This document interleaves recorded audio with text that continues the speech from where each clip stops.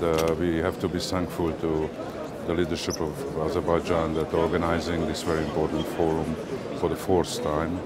Uh, I think it uh, always raises questions which are absolutely uh, up to date and uh, unfortunately affecting most of us. Uh, this is the future of the humanity as to intercultural dialogue is concerned.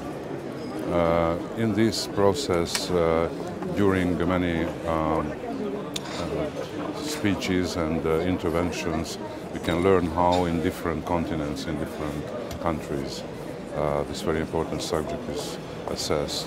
What are the practices, the common good practices, how they would like to tackle this very important issue. And I think uh, we definitely learn a lot about how, which are the best ways to manage these problems.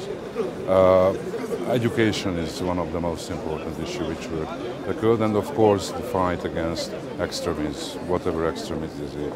Of course, terrorism, of course, uh, uh, ethnic and religious intolerance, and other issues. So I think it's a very important and useful forum.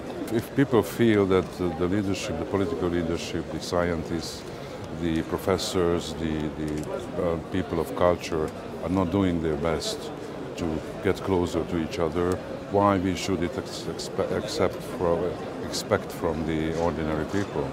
So that's why I think for those who are responsible for such important issues like education and cultural development, uh, they have to, to, to continue to, to, to talk to each other.